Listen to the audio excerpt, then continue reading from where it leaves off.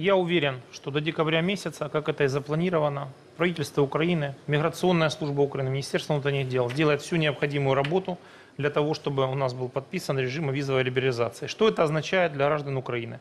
То, что граждане Украины в случае подписания такого договора смогут ездить в Европейский Союз на основании своих загранпаспортов.